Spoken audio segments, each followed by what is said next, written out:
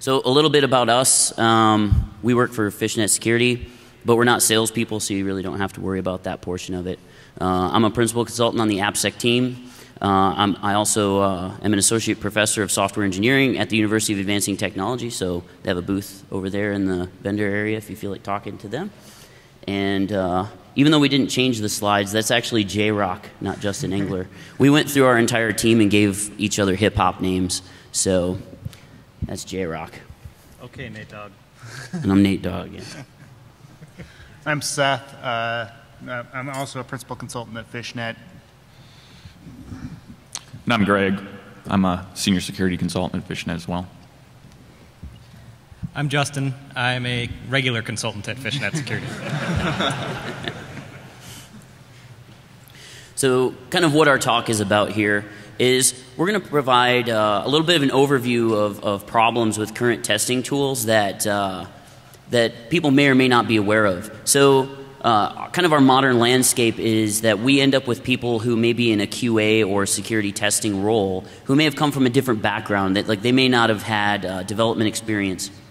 So when they run into problems or uh, when they run into technologies they may or may not understand, um, they might not find vulnerabilities that are fairly easy to find. And some of that is uh, a problem on the tools perspective, like not being able to handle modern web applications. So we'll go through some of the current workarounds and how that, uh, you know, how people are handling those. Uh, we'll go through a little bit of proposed solutions, like how those can be fixed, and then uh, we wrote a tool to start addressing some of these issues. So we'll, we'll go into, um, we'll skip some of the stuff and get right to the demos and show you the tool. So what we aren't going to do, which this is kind of a lie, so um, we aren't going to beat up on any particular vendor. So that's kind of sort of not true, but we're gonna we're gonna try to keep. We, we didn't say tools. We, we just said vendor. Yeah, it said vendor. Yes.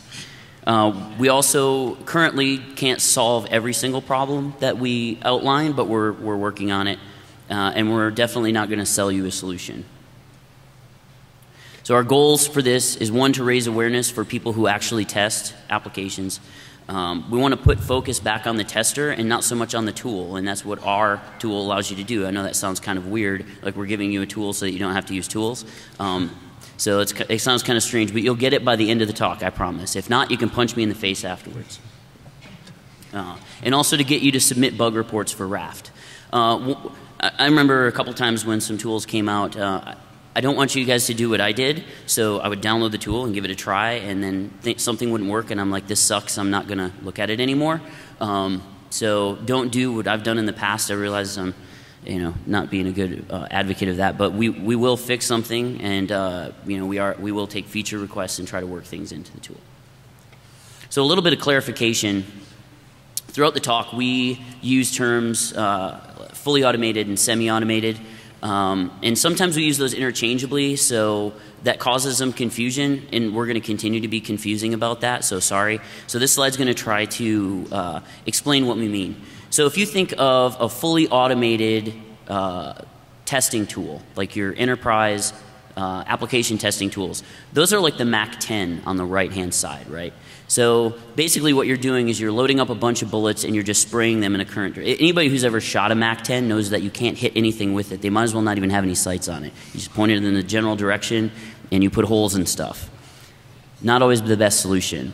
So, semi automated testing, or how it should be, which is what, what you'd think of sending, sending data to something like uh, running through a bunch of different test cases. That's more like the, the semi automatic sniper rifle.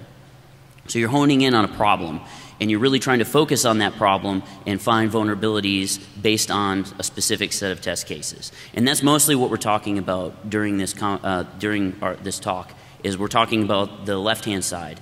We're talking about the sniper rifle.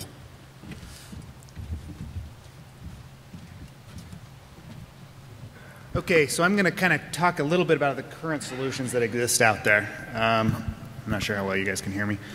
Um, basically, we test for a living, right? We're looking at web applications, and we've kind of figured out that they all fall down in some way or another. I mean, you get a, you know, the, the fully automated tools where you click the start button and it's supposed to find every vulnerability under the sun.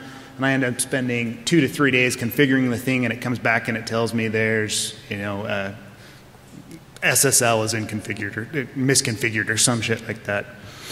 Um, so the, the, automated tools fall down. I mean, there's the fully automated ones, the semi-automated ones. They have session and state problems. Uh, you've got uh, scanners that'll run and they, you know, pull what you did. And the next time that you go to the site and have the tool run, it's out of state and it can't figure out that it's out of state. So you've got hundreds and th or thousands of requests that are coming back um, in the tool or that the tool is making to the website and they just aren't valid because they're all returning, you know, 302 redirects or some, something like that. Um, they have problems with you know, these complicated applications. The modern technologies we already talked about, you know, CSRF tokens, our rich internet applications, web services, the tools just don't understand them very well. Furthermore, all this data that is collected is in disparate locations, right? You've got your, your proxy that you're using while you're testing. You've got the full blown AppScan or Web Inspect. Sorry, I probably wasn't supposed to mention that. Um, but the fully uh, commercial scanners, I mean, getting data out of those tools can be just one huge pain in the ass. Um, as, and as you go further, you've got all this, this data that you've collected that there's no analysis that's run on it after the fact, right? You, have got a single request response.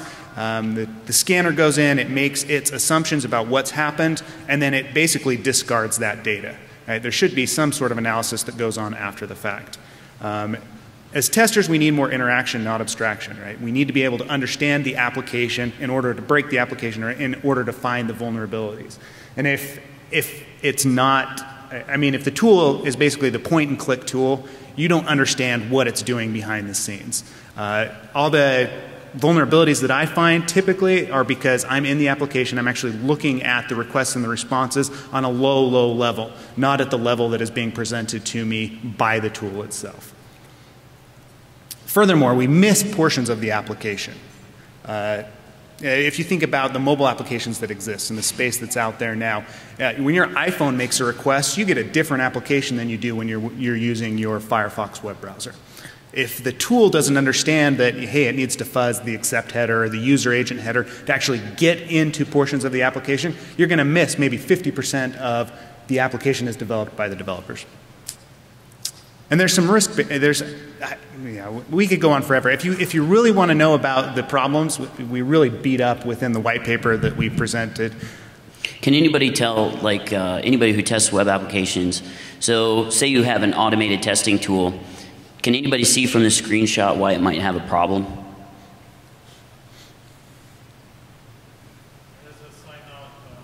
There you go.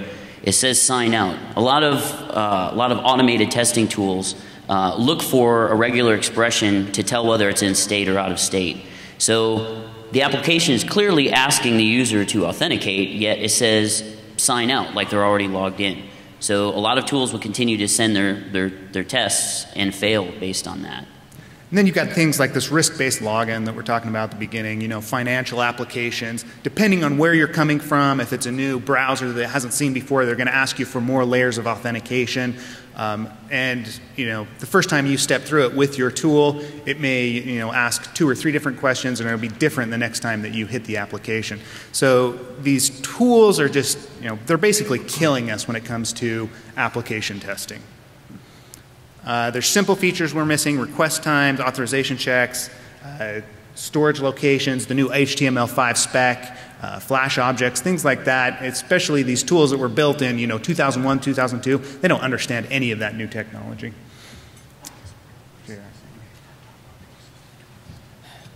So now that we've talked about why the existing tools can't do a good job on the whole picture, we're left with trying to figure out at the end of the day when I have to do an assessment, what am I going to do?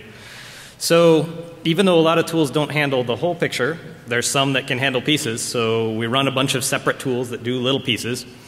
And a lot of them don't have any analysis of their own. Sometimes we'll write our own custom scripts to, to do something custom to generate a whole bunch of requests.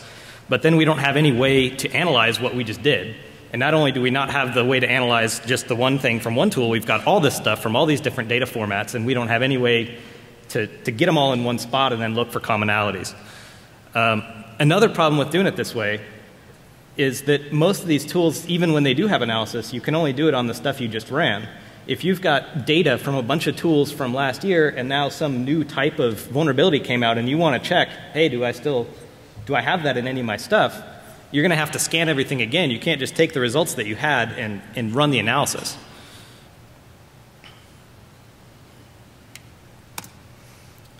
So instead, you could try testing manually, uh, but when you look at the scope of the assessments, at least that we get, there's not really any chance that you would be able to get anything meaningful done by manually clicking things and manually looking at the responses. We've got, you know, thousands of pages to look at in the course of two weeks. You just, you're not going to get it done. You need to have something that helps you reduce that burden. So just manually doing it isn't going to work. If you've got a crazy tool that almost does what you need, sometimes you can modify something to do what it wasn't supposed to do but even that can be painful, and you're spending time writing scripts when you should be spending time testing the program that you're supposed to test.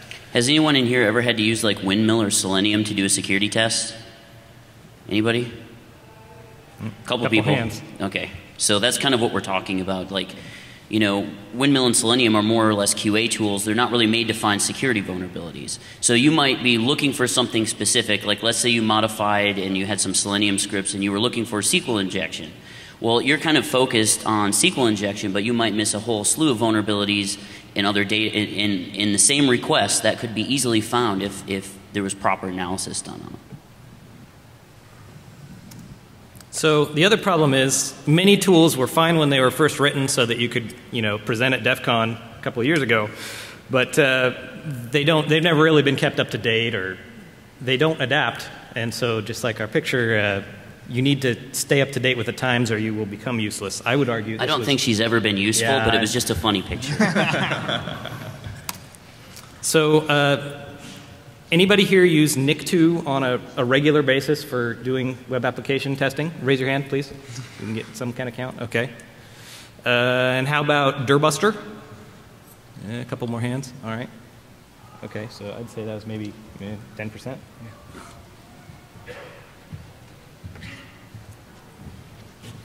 So if uh, people haven't figured it out yet, uh, Nikto is just a piece of crap. If you actually look at what it is, it's just a list of uh, web request URLs that get sent, and it has some pattern matching that comes back. There's no intelligence in it at all. I mean, about the only thing it's valuable for is testing uh, very broken WAFs. And uh, Dirbuster, we're going to talk a little bit more about Dirbuster. So those word lists that you guys are using um, in your Dirbuster tests, if you're using Dirbuster or if you're importing them into another tool, uh, those haven't been updated since 2007. And if people haven't noticed, the web has moved on since then. And there's a lot of common words that we see all the time that aren't in those lists. So there's a couple reasons for this. Um, when those lists were first generated, they were generated by going out to websites and spidering the website, seeing what directories existed, and pulling words down. Well, if you think about that, you're interested in parts of the website that don't exist, not the parts that do. So if you're just depending on uh, values that come back, you're going to be missing all the stuff that you think you should find but aren't. And there's a lot of bad words in there, so you're wasting time because uh, search engine optimizers uh, do keyword stuffing, so you're going to end up with all these strange words that are completely useless. So here are some uh, common words that you know we see in our assessments on web servers that aren't in the small and medium list. I mean, ASP.NET, ASP.NET client, uh, that's pretty important. You know, uh, the VTI directories, there's good information that can be pulled from that. So that's just something to be aware of. I mean, these are common things that are missing. So if you're depending on these tools and not actually looking at what they're doing, um, you, you have these big blind spots. And this is kind of, you know, we were reviewing the Dirbuster list and we were like, what, what, what the hell is this? Uh, Jeremiah Grossman, I mean, I'm sure people know Jeremiah, uh, either through his reputation or at uh, events like this. It- you know, when was the last time you found Jeremiah Gross, the Jeremiah Grossman directory on your web server? Really? You know, uh, that doesn't make any sense. Why are you? Maybe he just stopped by to say hello. yeah. But the thing I love is that that ASP.NET under our client isn't in there, but Jeremiah Grossman is. I, yeah. Yeah, it just it's it's like really D- d- does nobody look at this stuff? So that led us to say, well, we need to generate our own word lists. You know, how, how, do you approach this problem? And uh, we said, well, let's think about some way that we could go out and find words that people are telling us not to look for. And if you're familiar with the robots.txt uh, exclusion standard, basically webmasters go through and they mark parts of the site that they don't want Google spidering. You know, maybe there's sensitive data there, or maybe it's uh, uh, underlying web application components. So those are kind of the kind of things that when we're doing an assessment, we're very interested in. So we went through and we pulled down uh, the robots.txt file from a lot of sites. We, we combined the Alexa and uh, Quantcast Top Million uh, site and uh, pulled down about 1.7 million, we made about 1.7 million requests and found uh, 350,000 unique files. And we went through and we generated word lists based on how prevalent certain words were.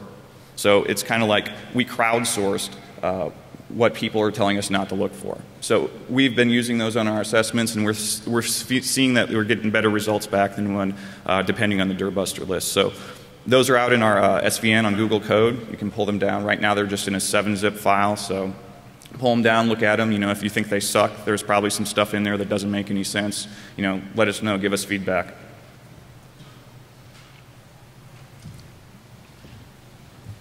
So one of the, the things that I always like to say is that tools, tools don't find vulnerabilities like people do. So tools should be there to assist, uh, to assist in identification of vulnerabilities, not exactly point them out.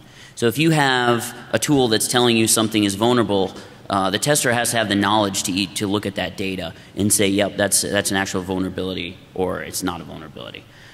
So we decided that there's too many tools out there with absolutely no intelligence when it comes to uh, the, the sort of fuzzing or fault injection uh, testing of applications. So if you if you had a like say you were testing for SQL injection and you have a good SQL injection list that you want to test with different uh, values, um, with modern applications a lot of times those fall down. So if you've right clicked on your favorite tool and said send to uh, insert uh, semi-automated testing tool here, um, if there's a CSRF token that changes every single time the page is laid out, that means every single one of your tests is going to fail it's going to come back and say, you know, yep, not vulnerable, or depending on the, the error message it may come back, you might be able to identify that. But that's a big problem.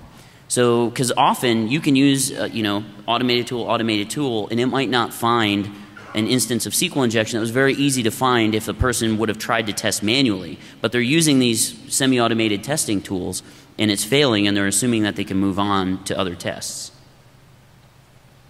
So a smart tool, a smart semi-automated testing tool should have several components. It should have session management, obviously, because we want to make sure that our tool is smart enough to stay in session. It should have sequence building and running. So if you have a difficult test case, you might need to run a sequence of events prior to sending your test case, and even a sequence of events uh, after you've ran the test case. So for instance, you may need to run a sequence of events to log you in, run a test case, and then log out. Um, there are crazy weird applications like that. A lot of international money transfer applications have weird functionality like that uh, to try to make them more difficult, I guess. So security through obscurity. But any tool that can handle those three things can test them rather easily. Uh, also content uh, discovery and support for mo like modern technologies. So we all know that something new comes out, developers want to use it. It always takes testing tools time to catch up. Oh. So so here's our tool. We're going to start talking about how we solve these problems and how you can use our tool to help you solve some of the same problems. So a little bit of history about RAFT. It, it, was written, it stands for Response Analysis and Further Testing, which is actually on the next slide. I probably shouldn't have said that. But you're probably wondering why there's a big red raft in the center of the screen right now. So this tool was created because uh, I was on an engagement and uh, I had to write some custom scripts to, to, to test some functionality of a web application. And I got to thinking, uh, there's this data I'm collecting and I'm looking for something specific. quite simply, I wanted to be able to see the data, uh, syntax highlighted. I wanted to be able to see the data rendered in, a, in, in, some sort of web view, and I wanted to be able to parse out scripts and comments and, and all the, the general things. So I created a simple Qt interface that allowed me to do that. Of course, the, the tool today looks absolutely nothing like the the beginnings of it. So yeah, it used to be just a, basically a SQLite browser. Yep, with with act, you know focused towards uh, web technology. So. Um, basically, it's not an inspection proxy. So that might throw, throw you for a loop a little bit. Um, but we decided to take a different route and kind of change that, that paradigm that everybody's used to. Because um, if you think about it, you're just chaining responses through another, another device or another application. So that's really important because almost all of the workflow that you see on all the other tools is, well, you'll set up this inspection proxy, use whatever browser you want to go browse through the site, and then come back and look at the tool again. We decided to just cut out that middleman, and instead, you can import data if you already have it, or you can just use the browser that we have ourselves. So we actually built WebKit right into the thing, so it works just like your Safari or your Chrome does, and it renders things the same way. So um, a lot of tools that have their own browsers, they often have something that's uh, kind of not as full featured or is just a little weird. This one is going to work just like you expect it to. Um, we also, a big piece of this is we made a custom analyzer engine so you can write whatever it is you want to find easily and then run it against all the stuff you have. Um, it's all open source, it's Python and Qt, and it's designed for testers. This is not a fire and forget click the button and your report is done tool. This is designed for someone who already knows how to test web apps, but they just need something to help out. So now we're going to have the demo. What you've all been waiting for. Yeah, we, we got through like the boring technical stuff, so we'll see if we can get this going. All right, this is the uh, user interface, and we're sorry about the screen resolution. Screen resolution looks like crap. Yeah, um, so uh, the, this has a little bit different workflow, um, like Nathan talked about. Uh, it, this started out as a way to uh, look at data from other data sources. Uh, we have our own uh, capture format that we have defined. It's an XML-based format, and what we have uh, provided a DTD for you, and there's a urllib2 module for people to do Python that you can just plug it in as a processor, and it automatically generates this format. So we'll look at some data we've captured, and you know, I just want to point out here, uh, there's, we're off the internet anyway, but there's a, an important thing that we discovered is when you're looking at rendered data from old uh, assessments, you know, you, you may have a limited time window for your testing, and you're not supposed to be interacting with the site. So we have this black hole network, so if you're looking at old response data, there's no traffic being sent out to the internet. But uh, when you have captured data, if you have all the references, all the images, anything that was uh, uh originally referenced, then the built-in rendering will pull that out of your capture data and display the web pages that uh, originally existed. Uh, we have responses. Here, I'll zoom this in so you guys can see. Uh, we have the zoom feature, which is really handy. Uh, you can see the request, the response. I don't know if there's any scripts on this, but we pull them out. Uh, I'll find some, some, with comments. Links, we pull out all the links. So you get a quick view of uh, what all the uh, references are, any form values, you get those. And we kind of we kind of go through and parse uh, uh, out of the DOM and generate the, the list of forms. And then one of the really handy features, you know, if you do a lot of assessments, especially with highly dynamic applications, you know that you have to do view source a lot, view generated source. So we have the generated source that we uh, render the render the page and pull out of the DOM. And any of these like uh, references, like uh, links and uh, forms that are dynamically added, those also get included here. So that's pretty handy. Uh, so that's imported data. We also support art from the RAF format. We also support burp logs, burp state files. If you use burp pro, you know the save state files. That's uh, and the XML, saved XML, and WebScarab and Paros message log formats. We don't do their, their storage, uh, but we're working on that because it's uh, not a good interface. We also have a, our own built-in web browser, so you can go and pull up sites. Here, let me uh, copy one here. I can just type that in. Yeah, don't don't get into my my porn. Yeah, definitely. So we just have an instance of the broken web applications running locally here.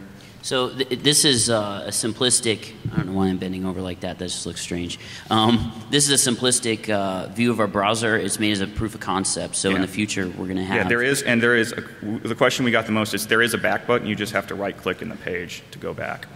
That's terribly intuitive. We, Yeah. we understand. Yeah, we, we definitely have some UI. You know, we're not GUI designers, so we have some like UI inconsistencies. So you just have to work through those. But as uh, close that, and if you uh, if I scroll down here, we'll see that those any requests that we've been making. Yeah, we have a zoomed in view. So those requests that we were just making are now being saved in our storage. We use SQLite in the back end, so uh, those are just getting saved to a local storage uh, database. Other interesting uh, tools, uh, we have a little search engine. You know, you can go through and type in, like let's say you want to look for HTML comments. So this one will have some comments in there. And you know, we offer you know, a variety of search routines. Uh, there's a built-in differ. Let's see if I can find some pages that are similar. Oh, I'll just pick two that aren't. Just so you can see the differences.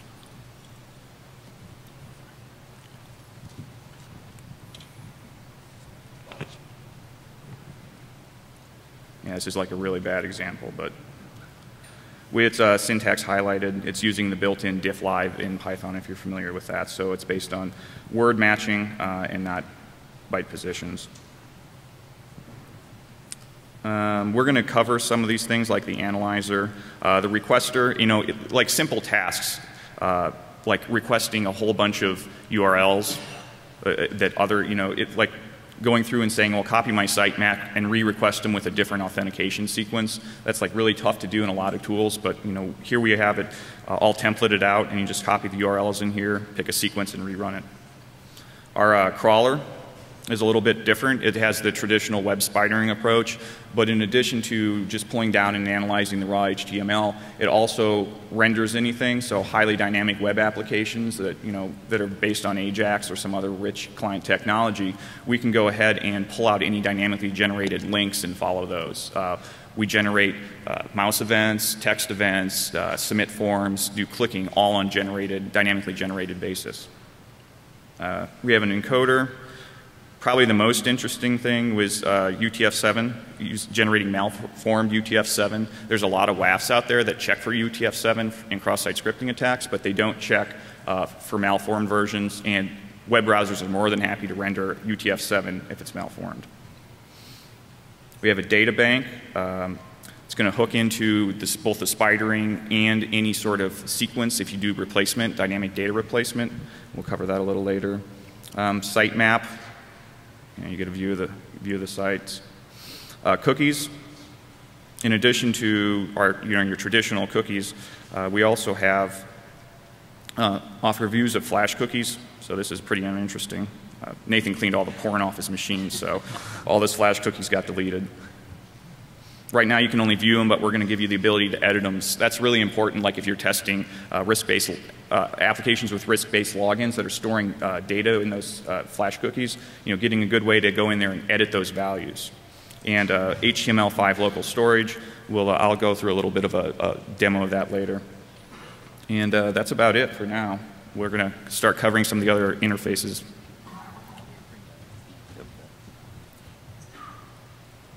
J-Rock doesn't know how to use a Mac, so Sorry, guys, we have to drive it for him. So, yeah, as the regular consultant, I get all the boring slides too. so, we run on Mac, we run on Linux, we run on Windows. Uh, we've Mac works pretty well. Windows, you've got to do some compiling. I'm not going to go into the boring details. The easiest way to use this right now, if you have Backtrack 5, you have to do uh, one apt-get install of Qscintilla, and then just download our stuff, and it works. Uh, We've been trying to keep everything that we need packaged in with it. There's just a few things that we don't, but this is the list. Um, it's up right now in Google Code.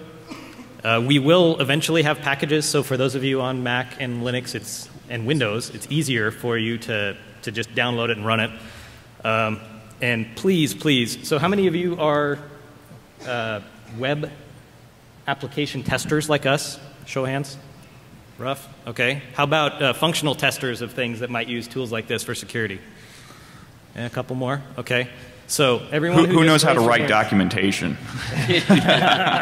We need those Sweet, guys man. too. You're, you're on. So, all you guys that are testers, whether it's functional or application, your specialty is telling developers how much their software sucks. So, we need your help in telling us bug reports on what goes wrong, and, and then hopefully some help on how to fix it too. But even if you just tell us what went wrong, that'd be great. Yeah, you're probably going to want to wait uh, like a week or two so we can get back from Vegas and fix some of the problems that we found while we've been out here. We, you know, we're like 12th hour development, like running down, you know, 10 minutes before we had to present writing code. So, you know, that's the way it goes. Yeah. We presented at Black Hat, and we didn't see the outside of our hotel room pretty much the whole time. Okay, so now we're on to the analysis engine. Right, um, it's obviously in the title. This is a big portion of Raft. Um, we wanted something that would actually analyze everything that we currently had. Right, I don't want to have to spider the site again to figure out if there are comments that may you know have some data that are interesting. Yeah, I can go back through the burp state or whatever, but it's you know you always find yourself writing another manual tool to pull more data down. But if I've already got all that data, let's actually just analyze what's there. So our model here for analysis is something modular, right? We want to be able to you know write one time and have it analyze all this uh, all this data that we have. We want to be able to analyze sessions as a whole, not just you know single request responses. You know, if the first request is different from the last request, but we made the same uh, made or the responses are different, but we made the same request, we want to know that and we want to know why. Um, so we want to find what others ignore. We want to look at timings, like how long it takes a page to respond. Uh, we want to do some image analysis. If you guys have looked at Google Images lately, they now actually pull out EXIF data and will display where exactly an image was taken or how or what camera was used for it, that type of information. And that's not something you typically look at during an assessment, but it could be useful information, especially for a social engineering engagement, something along those lines. So the possibilities are really endless. These analyzers are extremely easy to write. Um, let me show you at least the demo, right? I, I guess we're, we've got anal going on right now, but um, right now there's nothing in the analyzer. Um, we haven't run the analysis or the analyzers yet, but uh, we are looking at actually hooking some of the scanner and fuzzers into the analyzer so it would kick off specific analyzers when uh, when we make a request and things like that. But currently we have to actually click this you know, circle button up here which, which runs the analysis and we get back, in this case, 120 results. Now, these analyzers, this is currently what we've written. Some are in you know, flux, uh, some do more than others do. Uh, we've got, you know, we're looking for error messages, insecure cookies, I mean the low hanging fruit, what's currently out there. Uh, we, we're analyzing some redirects to see, you know, if, if there is more information behind a redirect than is actually displayed to the browser. I mean, your browser takes a redirect and just takes you to the next page, but I've seen applications where people actually allow you to, uh, to uh, spider the admin section because the developers didn't write the redirect portion of the application correctly. Uh, timing analysis. Yeah, thanks a lot, PHP developers. Yeah, you're right on, man. Uh, the timing analysis, uh, looking for the denial of service pages, you know, anything that would cause the server itself to spin longer and to, to take up more cycles so we could, you know, potentially execute a denial of service attack. So these are ones that we've currently written. If you've got other ideas for what can be implemented, let us know. Um, we did implement simple regex and um, strings. So all you have to do is change the configuration, add your regular expression that you want to look for in all of these requests, and it'll display them to you. So currently, I think we've got, you know, we're looking for personal information. So in Altoro Mutual, it found some private information here, you know, a phone number, and it'll actually tell us, let's see, in the response, I believe. Yeah, so it finds the, finds the phone number and it'll show it to you, so it's easy to, to scope through there. Um, and I think when we were building this, we decided, hey, we want to know if XSS has been found. It took us all of 20 minutes to write the XSS finder to see if it, if an alert box popped, and if it did, then if it was in the, in the request, then XSS is obviously within the application. So, um, and we'll get we'll do an example of that in just a minute. Um, yeah, so that, that's the analysis engine. Jump back over to Keynote. So a little bit about our smart testing components, because we basically so far we've been talking about data you've already collected. So now you've already collected the data, you want to do some additional testing based on the data you've collected. So we created a requester and a fuzzer, uh, and those are templatized, and we'll get into those in a second. We're about to do the demo. But we also have the ability to run sequences. So you can launch the sequence builder, uh, build your sequence out, and then import it into, or just select it from the drop-down box uh, when you uh, when you're doing your testing. And of course, we have a browser object, so um, that browser object can be utilized uh, during the testing as well. Oh, yeah. So this templating approach is probably better just to show you versus uh, explain about it.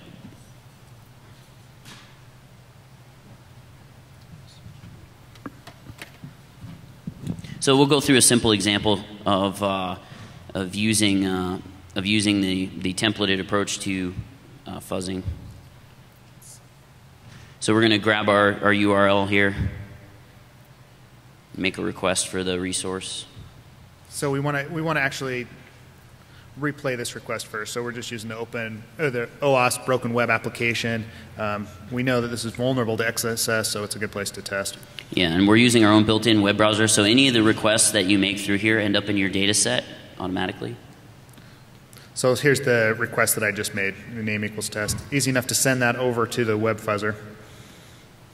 And as you can see the templates here, so there, there's you know some automatic templates, but uh, there's a payload drop-down box uh, for you know where you want the payload to go. And here's the mapping screen, so you can map payload names to different sources. Yes, the two in there are hard-coded. That will not be hard-coded for long. We needed something for the demo, so uh, we'll have a directory where you can load all your favorite lists, and those will be automatically available to you in the interface.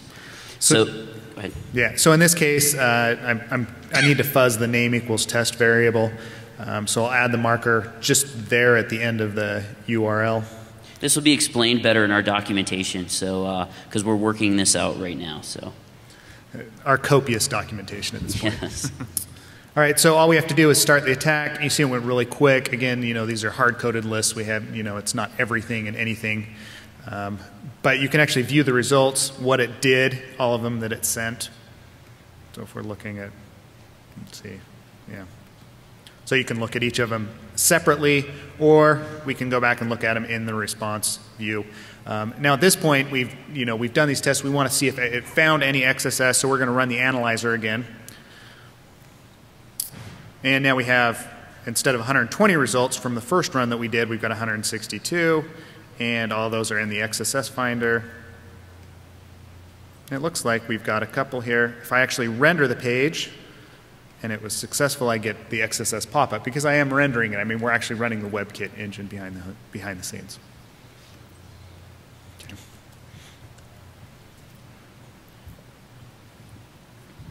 Okay, uh, so we're going to have a sequence fuzzer, and we were looking at his laptop. It's kind of funny because it locked on us, um, so we don't know where we are. So uh, we're going to have a sequence fuzzer, and that sequence fuzzer is going to allow you to tag data in sequences. We call it dynamic data replacement. So you can import a sequence of events, uh, tag that CSRF token, that elusive CSRF token that's making all of your requests fail. Uh, you can tag that and then place it into uh, your payload. So now all of those previous tests that you were running that were failing will now become successful. And in the future, we're going to have um, the ability to do any kind of dynamic data on the DOM. So the really, really, really, really, really difficult to test applications, well, you'll now have visibility into doing those without having to do them by hand. Yeah, so I'll just do a quick uh, sequence builder demo. Um, this is obviously not completely uh, functional yet, but uh, at least give you an idea because we're still in the process of getting our dynamic data replacement features uh, to work. So here we have a pretty typical login form. We'll just log in, foo-foo.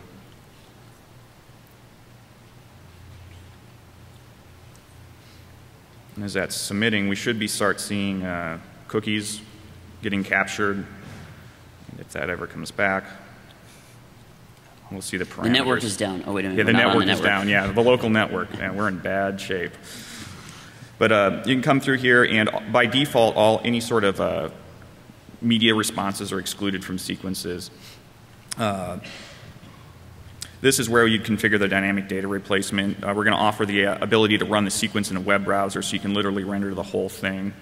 Uh, we, you know, we discussed earlier about some of the session state problems. So we offer both an in-session pattern and an out-of-session pattern so that you can figure out, well, do I have some specific request that's uh, causing a problem? So let's see. I think I'll log out. Log out. Yeah. People that are leaving are going to be really upset because we're giving away free cookies. Yeah. Yeah, what am I looking for here? Log in, log out? Is it sign out? Yeah, could be. No, it's log out. All right, so the one, uh, you know, if, if, you've configured other tools, sometimes it can be a, a, pain to figure out. So we actually search through it dynamically and uh, mark it up for you.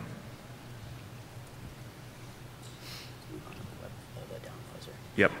So how many people in here would like to search for uh, DOM-based XSS without having to use a browser plugin or having to send your website to some application off on the web and have it test? Anybody? That should be pretty much everybody. So we have a built-in DOM fuzzer, so it's integrated into our tool so we can identify things like DOM-based cross-site scripting without you having to use another tool. We're going to do a demo of that right yep. now. So I have uh, imported a couple of uh, web pages that are, I know, vulnerable to DOM-based cross-site scripting because I wrote them. I'll show you the response here. Um, so if you look in the response, it just does a simple, let's zoom this out a little bit. This resolution is It's like, just killing us. yeah. So it's just doing a document.write location.href, so that's going to be vulnerable in some circumstances. Uh, this one is also doing something similar.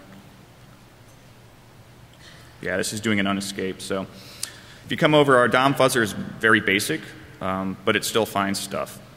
So if you look at these tests, we've generated uh, some unique script uh, statements those are quite common. Uh, an alert that would go into a string if you're doing a string and is uh, a pattern that's going to be pretty much unique on the page. So what we'll do is we'll go through and uh, run the, uh, the, the fuzzer based on the uh. That is the absolute first time that that's happened. Yeah. I swear. it, it, you know, that sounds like a joke, but it is the first time it's ever done that. Mm-hmm. So I guess we need to fill out some bug reports. Yeah, ourselves. I guess so. So what this is doing is it's taking the saved HTML data and it's loading it into an instance of WebKit and it's setting the, the base URL to the modified value. So this is not making any sort of network requests at all, but it's still replaying those values and uh, rendering it as if it was on the original site. So we should start seeing some results coming through, and we're doing a couple of uh, matches here. The first one is high. Um, we, we hook the alert box, so if we see an alert box pop up with that number in there, we say, bang, found uh, some DOM-based cross-site scripting. Uh, in, other, in other cases, we're just looking for pattern matches in the rendered DOM content. So like if we look at this guy, you can see that's written out, and if we render it, boom, right there. So we found DOM-based cross-site scripting without sending any uh, network traffic at all. And um, is it, are we? Uh, yeah. Okay, so this we have screenshots of in our presentation, but I'm going to try it, you know, if this works. Uh-oh. Yeah. I'm not sure so one thing work. tools don't normally do is give you visibility into thing like things like SSO or LSOs and allow you to modify those to test to see what would happen. Yeah. This is, this is kind of a, a twitchy one. So the HTML5 demos, if I look at this and render it,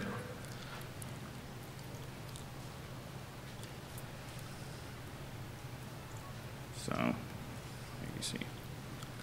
If you come over here, you should see the local storage now has a value in it.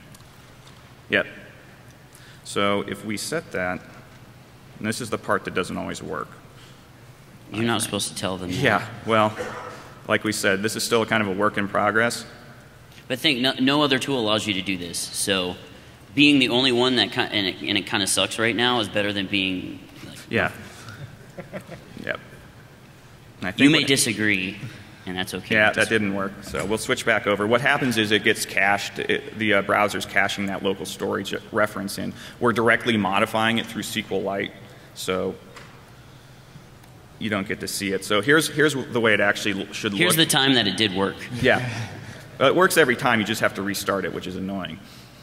So uh, you modify the value, and then when you go back and re-render the page, you get the pop-up box. So that's actually modifying the local storage. And some, some people asked us, well, what is the attack scenario there? And we said, well, it's really no different than any other uh, situation where uh, one part of an application accepts data and it doesn't properly sanitize it. Um, and then it gets replayed later. So let's say you have a web page that's storing some sort of user preference in a, a client-side storage. I mean, you know, developers are starting to use this and not even realize it. Like they're importing JStorage and using it without understanding where these values are actually being stored. And then later you come back and it pulls it out of there and it doesn't encode it or sanitize it. And uh, you, then you get have cross-site scripting. So let's say you do some sort of forced browsing to send the value to that web page and get it saved, and then force the user to re-render that page and uh, they, they themselves find out to be vulnerable. So we have some more slides and we have no more time. So what we're going to do is, uh, as far as documentation goes, there's some on the project page as well as our um, our slides, and the, a copy of these slides is already um, already available on our project page. So if you have any questions, now's the time to ask them. Uh, we're going to be we're actually going to be in the Q and A room as well. So. Uh, uh, we can actually go through some of the stuff we weren't able to cover. So thank you for coming out.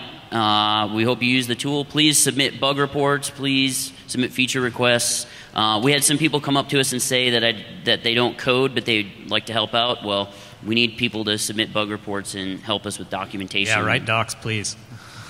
Oh, and Thank we, we aren't an inspection proxy. yeah. Thanks.